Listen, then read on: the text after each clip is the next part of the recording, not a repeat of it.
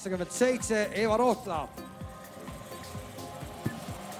ja Eva teeb ka kindlasti isikliku ja põhjus lihtne, varem ta pole siin peal käinud, see on tal esimene kord, kui ta siin on.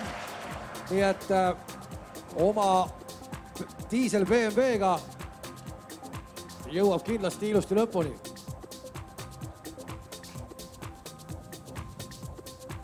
ja pakun ka, et julgelt üle kahesaja ikkagi.